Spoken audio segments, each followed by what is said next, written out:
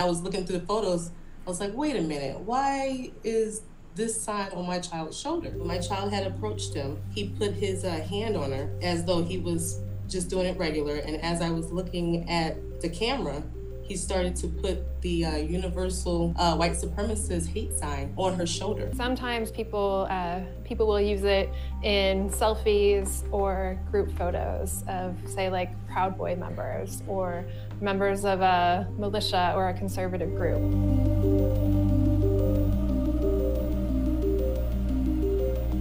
On the one hand, it control, control a response, that they can deny, but it also can signal their support for white supremacist ideas. It was really heartbreaking to see that someone would, you know, someone would do that. A character put his hand around her and, you know, act like he was normal, been emotionally distraught about it. I'm still pretty upset that, you know, someone felt that they needed to do this to children.